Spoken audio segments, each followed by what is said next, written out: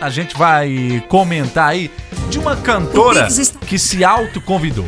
Ela se autoconvidou. Mas, mas quem. Mas é- pode isso?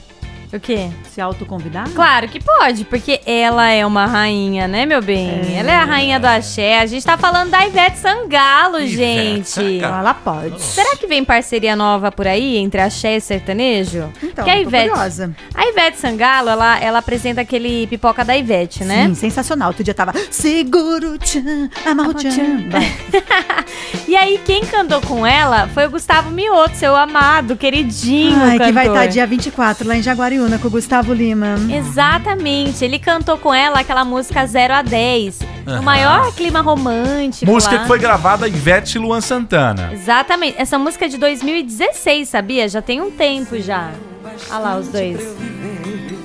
Deixa eu te levar pra ver as Ah, colorindo nosso jardim de amor. Aí depois Enquanto o disso, sol vai misturando. que rolou o convite? Então, aí foi isso, esse clima gostoso aí dos dois. Ah, eles são maravilhosos Hum. juntos, né? E aí a Ivete falou assim: Eu amo cantar com você, Gustavo. Você, tipo, é muito bom cantar com Ele você. transmite uma paz. Eu acho que ele canta bem de boinha. E, e- e esse- essa canção aí que eles cantaram foi agora, recente? Então, essa música aqui, ela tinha gravado com o Luan Santana no DVD dela, é, em acústico em Trancoso, Aham. em 2016. Aí, aí, né, faz tempo essa música pegou de novo no Instagram, já tá todo mundo fazendo Reels aí. E aí, ela cantou junto com o Gustavo Mioto. Aí ela elogiou, rasgou elogios nele, né? Falou que, nossa, como é bom cantar com você, não sei o quê. Aí Ela falou, viu, tô sabendo que você vai fazer um DVD em comemoração aos 10 anos de carreira. Ah, E você pode me chamar, viu? Aí ele ficou Que assim, tudo! nossa! sério? E aí, Really? não, aí os fãs começaram a falar um monte de coisa na internet falando, gente, é o pedido da Ivete, ela é uma rainha. Não o tem pedido, como negar. O pedido dela é uma ordem. Sim. Aí todo mundo falando, Gustavo, chama ela pro DVD, porque ela quer ir pro DVD.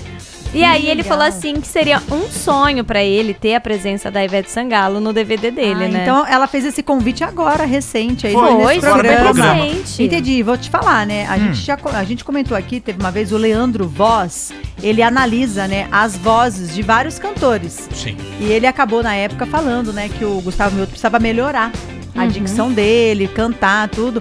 E o Gustavo Mioto aceitou a crítica dele e tá fazendo, né, um, é curso? Umas Fala? aulas? Umas aulas com o Leandro Voz. Tá tendo treinamento. É, e ele melhorou pra caramba. Sim. Porque ele é novo, né? Tem alterações de, alteração de voz e tudo mais. Sim. E o Leandro Voz foi aí muito importante, eu acho que nessa, nesse últimos meses da carreira do Gustavo Mioto. Ó, o último DVD dele teve participação do Luan Santana, ele já participou com a Marília Mendonça, com Wesley Safadão, Jorge Mateus, Anitta e agora, quem sabe, Ivete, Ivete Sangalo. Sangalo. Tamo junto na Band FM. Band FM.